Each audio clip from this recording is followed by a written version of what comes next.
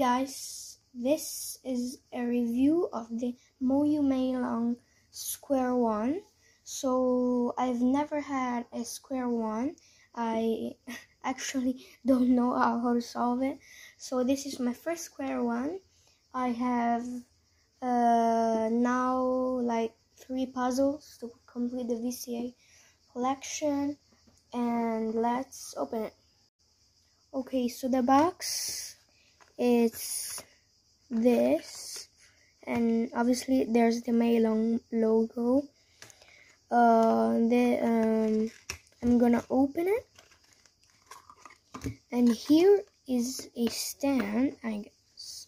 And here's a pamphlet in Chinese with the I guess the tutorial or the notation.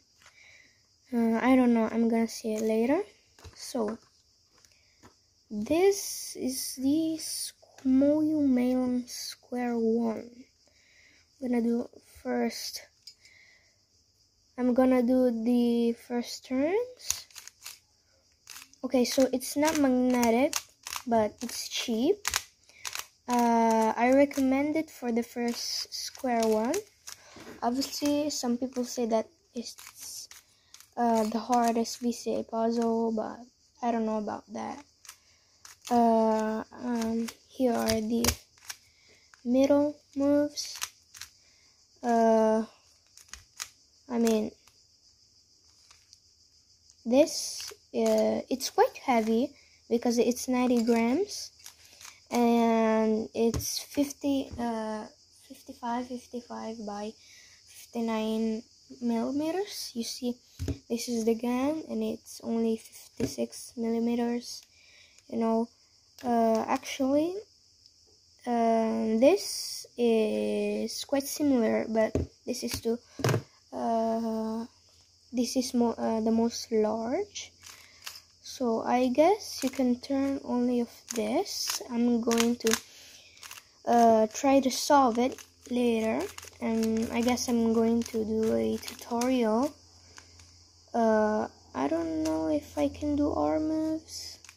Maybe or oh I don't know. What if we do these turns? Okay so uh, I guess it's quite quite good. You can turn it uh, fast. It's not magnetic but it's still good. I recommend it for beginners at the square one.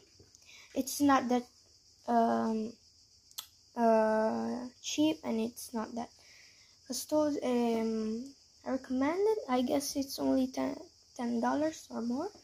And I really really recommend the Moyu one. I'm going to do some solves after. I'm going to learn how to solve it. And yeah I guess let's see on the next video